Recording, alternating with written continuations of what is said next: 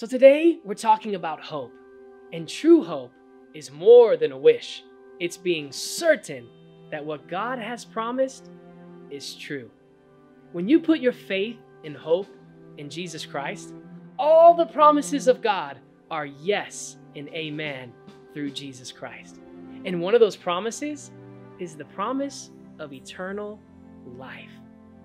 Eternal life, heaven, is only found in Jesus Christ because Jesus paid the price for our sins on the cross.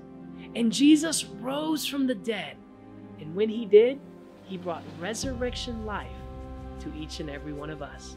When you believe in Jesus Christ, you're born again and your name is written in this book. Check it out.